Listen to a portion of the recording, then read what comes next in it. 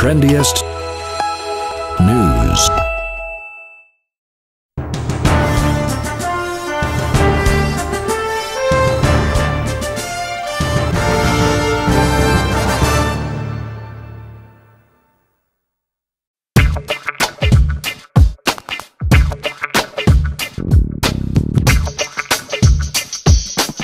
bodies and weather blended perfectly with nature and interacted closely. The Washington Redskins cheerleaders, these gorgeous girls were up to something new, and this time, Riviera Maya was their partner in crime.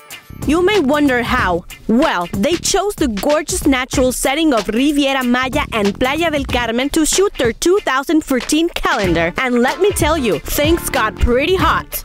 These beautiful redskins were up to more. They also enjoyed the scenery and swam with dolphins. Let me remind you that the Mexican Caribbean is perfect for all kinds of outdoor activities, and the cheerleaders took advantage of this.